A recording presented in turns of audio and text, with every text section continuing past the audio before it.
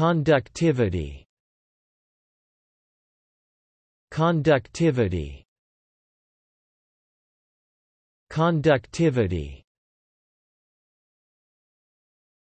Thanks for watching this video.